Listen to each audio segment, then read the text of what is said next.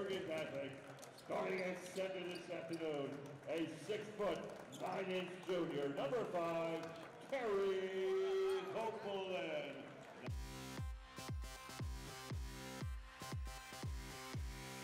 Terry Copeland was just one half of Bergen Catholic's big man duo, making his presence known every time he stepped on the court.